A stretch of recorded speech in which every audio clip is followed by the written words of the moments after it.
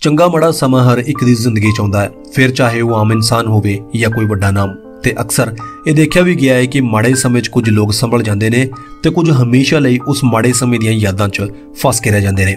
ਤੇ ਦੋਸਤੋ, ਇਸ ਦਾ ਸਭ ਤੋਂ ਵੱਡਾ ਉਦਾਹਰਣ ਹੈ ਇੱਕ ਕਲਾਕਾਰ ਦੀ ਜ਼ਿੰਦਗੀ। ਕਿਉਂਕਿ ਉਹ ਆਪਣੇ ਪਰਸਨਲ ਲਾਈਫ 'ਚ ਭਾਵੇਂ ਕਿਹੋ ਜਿਹੇ ਹਾਲਾਤਾਂ 'ਚੋਂ ਹੀ ਕਿਉਂ ਨਾ ਲੰਘ ਰਿਹਾ ਹੋਵੇ, ਪਰ ਉਸ ਨੂੰ ਹਮੇਸ਼ਾ ਆਪਣੇ ਚਾਹਣ ਵਾਲਿਆਂ ਨਾਲ ਖਿੜੇ ਮੱਥੇ ਹੀ ਮਿਲਣਾ ਪੈਂਦਾ ਹੈ। ਤੇ ਇਹੋ ਜਿਹਾ ਇੱਕ ਉਦਾਹਰਣ ਅਸੀਂ ਮੇਰਾ ਨਾਮ ਜੋਕਰ ਜਿਹੀ ਫਿਲਮ 'ਚ ਵੀ ਦੇਖ ਚੁੱਕੇ ਹਾਂ ਜਿੱਥੇ ਕਿ ਫਿਲਮ ਦੇ ਕਿਰਦਾਰ ਦੇ ਘਰ ਉਸ ਦੀ ਮਾਂ ਦੀ ਮੌਤ ਹੋ ਜਾਂਦੀ ਹੈ ਪਰ ਪਤਾ ਲੱਗਣ ਤੋਂ ਬਾਅਦ ਵੀ ਉਹ ਲੋਕਾਂ ਨੂੰ ਹਸਾ ਰਿਹਾ ਹੁੰਦਾ ਹੈ।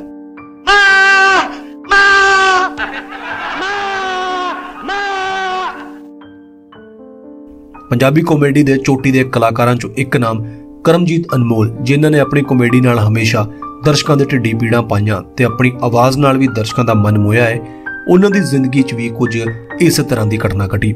ਸਾਲ 2017 'ਚ ਕਰਮਜੀਤ ਅਨਮੋਲ ਇੱਕ ਸ਼ੋਅ ਲਈ ਕੈਨੇਡਾ ਟੂਰ ਤੇ ਗਏ ਹੋਏ ਸੀ। ਇਸ ਦੌਰਾਨ ਉਹਨਾਂ ਦੀ ਮਾਤਾ ਮੂਰਤੀ ਕੌਰ ਜੀ ਦਾ ਦੇਹਾਂਤ ਹੋ ਗਿਆ, ਜਿਸ ਕਰਕੇ ਉਹਨਾਂ ਦਾ ਸੰਸਕਾਰ ਤੇ ਆਉਣਾ ਸੰਭਵ ਨਾ ਹੋ ਸਕਿਆ।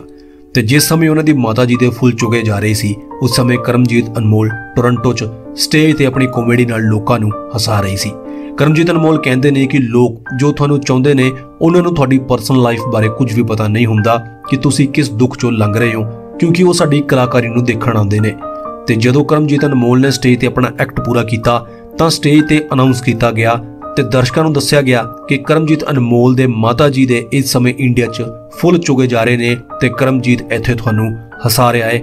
ਤਾਂ ਇਹ ਗੱਲ ਜਾਣਨ ਤੋਂ ਬਾਅਦ ਬਹੁਤ ਦਰਸ਼ਕਾਂ ਨੇ ਅਫਸੋਸ ਕੀਤਾ ਰੋ ਕੇ ਗਏ ਤੇ ਨਾਲ ਹੀ ਕਰਮਜੀਤ ਅਨਮੋਲ ਕਹਿੰਦੇ ਨੇ ਕਿ ਕੁਝ ਲੋਕ ਇਹ ਵੀ ਕਹਿ ਕੇ ਗਏ ਕਿ ਇਹੋ ਜਿਹਾ ਫਿਲਮ ਮੇਰਾ ਨਾਮ ਜੋਕਰ ਦਾ ਦੇਖਿਆ ਸੀ, ਪਰ ਅੱਜ ਅਸਲ ਜ਼ਿੰਦਗੀ 'ਚ ਵੀ ਦੇਖ ਲਿਆ। ਕਰਮਜੀਤ ਅਨਮੋਲ ਕਹਿੰਦੇ ਨੇ ਕਿ ਉਸ ਦਿਨ ਉਹਨਾਂ ਨੂੰ ਇਹ ਅਹਿਸਾਸ ਹੋਇਆ ਕਿ ਇੱਕ ਕਲਾਕਾਰ ਦੀ ਕੀ ਜ਼ਿੰਦਗੀ ਹੈ। ਦੋਸਤੋ, ਇਹ ਸਾਰੀ ਜਾਣਕਾਰੀ ਕਰਮਜੀਤ ਅਨਮੋਲ ਨੇ ਇੱਕ ਇੰਟਰਵਿਊ ਦੇ ਦੌਰਾਨ ਸਾਂਝੀ ਕੀਤੀ ਸੀ। ਬਾਕੀ ਕਰਮਜੀਤ ਅਨਮੋਲ ਨੇ ਹਮੇਸ਼ਾ ਆਪਣੀ ਐਕਟਿੰਗ ਨਾਲ ਆਪਣੇ ਚੋਣ ਵਾਲਿਆਂ ਨੂੰ ਹਸਾਇਆ ਹੈ ਤੇ ਆਪਣੇ ਗੀਤਾਂ ਨਾਲ ਵੀ ਦਿਲ ਜਿੱਤਿਆ ਹੈ ਤੁਹਾਨੂੰ ਕਿਸ ਫਿਲਮ 'ਚ ਕਰਮਜੀਤ ਅਨਮੋਲ ਦੀ ਐਕਟਿੰਗ ਸਭ ਤੋਂ ਵਧੀਆ ਲੱਗੀ? ਤੇ ਕਿਹੜਾ ਗੀਤ ਤੁਹਾਨੂੰ ਸਭ ਤੋਂ ਵੱਧ ਚੰਗਾ ਲੱਗਾ? ਕਮੈਂਟ ਕਰਕੇ ਜ਼ਰੂਰ ਦੱਸਿਓ।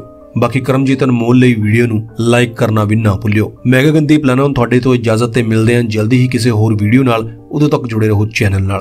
ਚੈਨਲ ਅਪਡੇਟਸ ਲਈ Punjabi movies Adda YouTube channel ਨੂੰ ਸਬਸਕ੍ਰਾਈਬ ਕਰੋ ਤੇ ਪਹਿਲਾਂ ਨੋਟੀਫਿਕੇਸ਼ਨ ਲੈਣ ਲਈ ਬੈਲ ਆਈਕਨ ਤੇ ਪ੍ਰੈਸ ਕਰੋ।